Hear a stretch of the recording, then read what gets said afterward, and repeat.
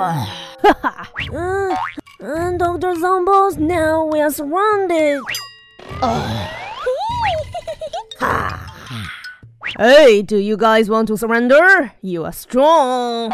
If you're new to me, I will think about making you be my slaves. Then you can be alive.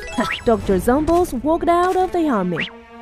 No, Dr. Zomboss, no. He took off his white coat because he was so tired. Dr. Zomboss took off his shoes because his shoes maybe made him sleep on the ground. Later, he dropped his weapon because he used out his power.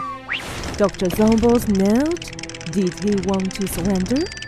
Oh no, Dr. Zomboss! No, that served its purpose like the monsters did before the attack.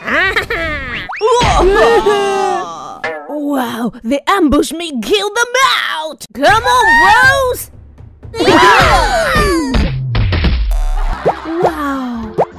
Dr. Zomboss Dusk. Click to subscribe.